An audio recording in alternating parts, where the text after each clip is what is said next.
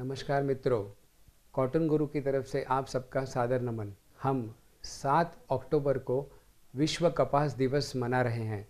पहली बार ऐसा हुआ है कि कोई एक दिवस कपास के लिए दिया गया है। जब से हम जन्म लेते हैं और मरते हैं, कपास हर दम हमारे साथ रहता है। पर किसान मित्रों, आप इस दिन को किस तरह एक अनोखा दिन बना सकते हैं? आप हमारे साथ फार्माथॉन, जो विश्व की सबसे पहली किसानों की मैराथन है, उसमें आप भाग लीजिए।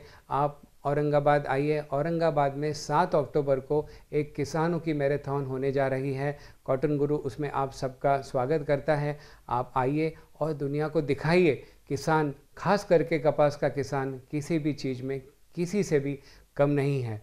कपास का ज़्यादा से ज़्यादा उपयोग कीजिए। कपास के जो बाय प्रोडक्ट्स हैं, कपास से जो बनता है, बुनता है, उन सब का उपयोग कीजिए और हर दम कपास को प्रमोट करिए। यही कॉटन गुरु का मिशन है।